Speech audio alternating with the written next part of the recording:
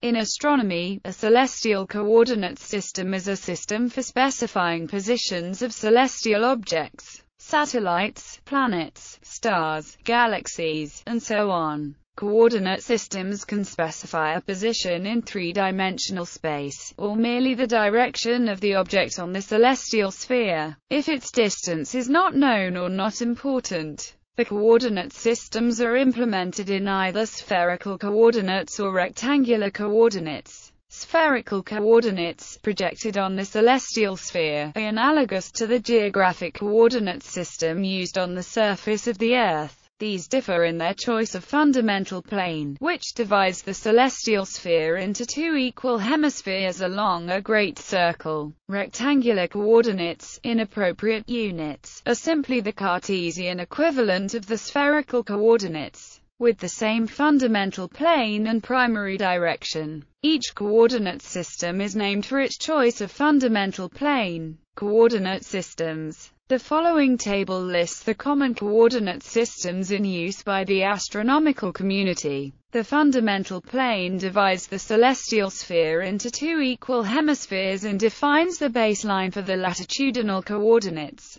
Similar to the equator in the geographic coordinate system, the poles are located at plus or minus 90 degrees from the fundamental plane. The primary direction is the starting point of the longitudinal coordinates. The origin is the zero distance point, the center of the celestial sphere. Although the definition of celestial sphere is ambiguous about the definition of its center point, horizontal system The horizontal, or altitude azimuth, system is based on the position of the observer on Earth which revolves around its own axis once per sidereal day in relation to the fixed star background. The positioning of a celestial object by the horizontal system varies with time, but is a useful coordinate system for locating and tracking objects for observers on Earth. It is based on the position of stars relative to an observer's ideal horizon. Equatorial system The equatorial coordinate system is centered at Earth's center, but fixed relative to distant stars and galaxies.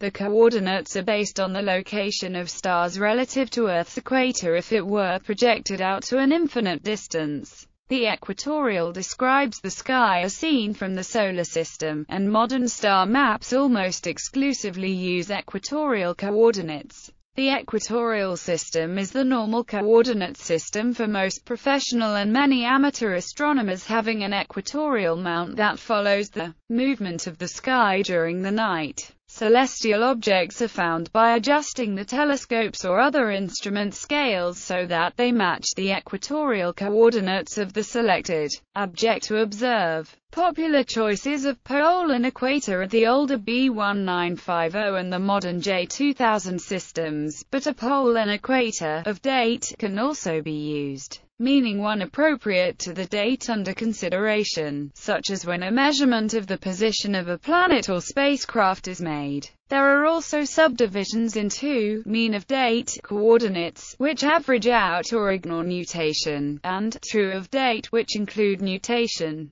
Ecliptic system The fundamental plane is the plane of the Earth's orbit, called the ecliptic plane. There are two principal variants of the ecliptic coordinate system. Geocentric ecliptic coordinates centered on the Earth and heliocentric ecliptic coordinates centered on the center of mass of the Solar System. The geocentric ecliptic system was the principal coordinate system for ancient astronomy and is still useful for computing the apparent motions of the Sun, Moon, and planets. The heliocentric ecliptic system describes the planet's orbital movement around the Sun, and centers on the barycenter of the Solar System. The system is primarily used for computing the positions of planets and other Solar System bodies, as well as defining their orbital elements.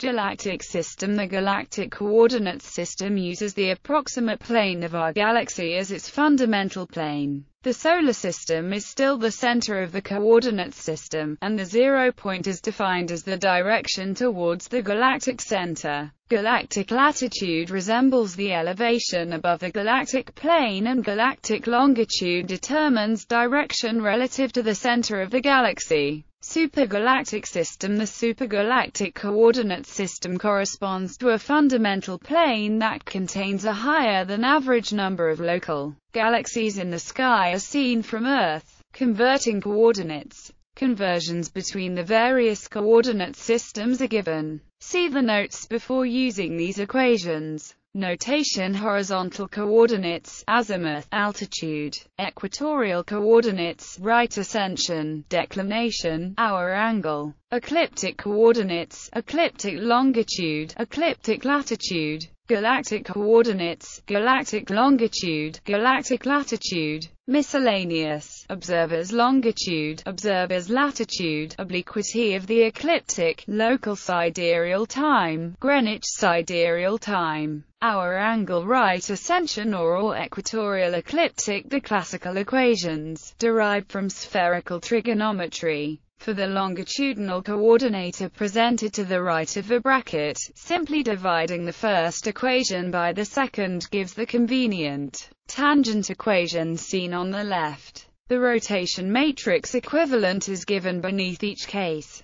Equatorial horizontal Note that azimuth is measured from the south point, turning positive to the west. Zenith distance, the angular distance along the Great Circle from the zenith to a celestial object, is simply the complementary angle of the altitude, 90 degrees minus a. Equatorial galactic These equations are for converting equatorial coordinates refer to B1950, if the equatorial coordinates are referred to another equinox, they must be precessed to their place at B1950 before applying these formulae. These equations convert to equatorial coordinates refer to B1950. Notes on conversion angles in the degrees, minutes, and seconds of sexagesimal measure must be converted to decimal before calculations are performed. Whether they are converted to decimal degrees or radians depends upon the particular calculating machine or program. Negative angles must be carefully handled. Minus 10 degrees 20 minutes 30 seconds must be converted as minus 10 degrees minus 20, minus 30. Angles in the hours, minutes, and seconds of time measure must be converted to decimal degrees or radians before calculations are performed. 1 h equals 15 degrees 1 meter equals 15, 1 s equals 15.